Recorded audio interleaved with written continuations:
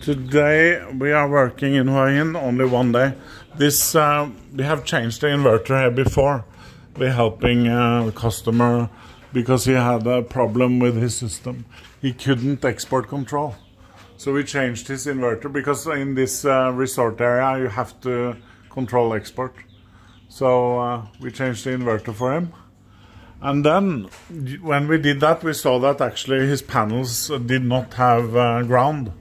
And this is typical. We see that a lot, uh, I'm afraid, on um, installations that when we drive around is that they're missing things and not proper cabling. And in this case, it's the ground.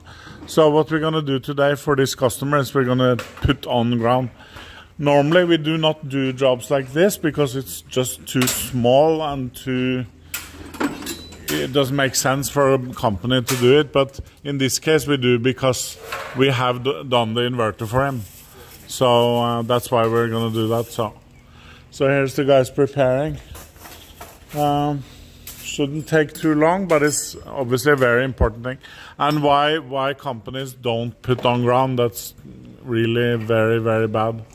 And unfortunately, most people are not able to check things like that. You know, so but uh, at least in on this installation we're able to fix it.